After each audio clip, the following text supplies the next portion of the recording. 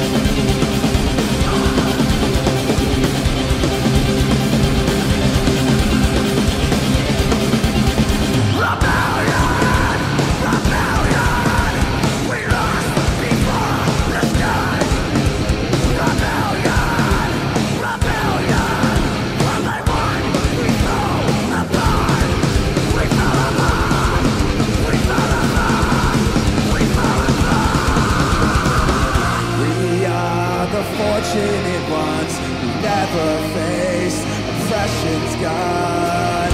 We are the fortunate.